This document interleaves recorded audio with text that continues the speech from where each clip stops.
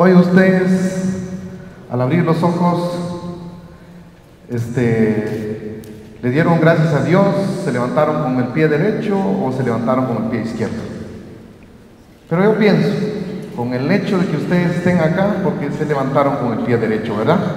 Así que en estos momentos me corresponde a mí hacer la presentación de todos los proyectos ejecutados desde enero hasta julio y algunos proyectos que estarán iniciándose.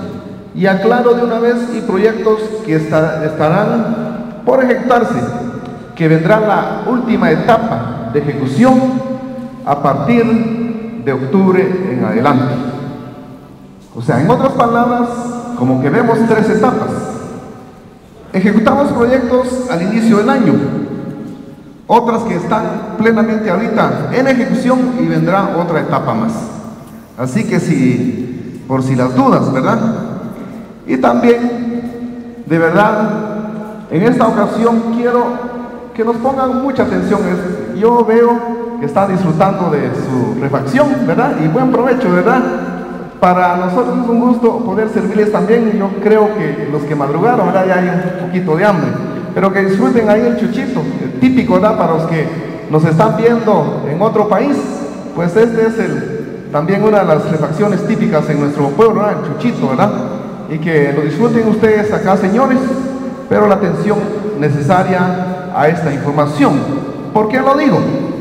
En algunas ocasiones me he encontrado con personas dicen, es que el consejo no hace nada, es que el alcalde no hace nada, el dinero ingresa y sabe qué, qué están haciendo con el recurso. Uno. Otro también muchas veces, que se ha tejiversado algunas cuestiones específicas. Es que es dinero del alcalde. A veces es lo que dicen en las comunidades.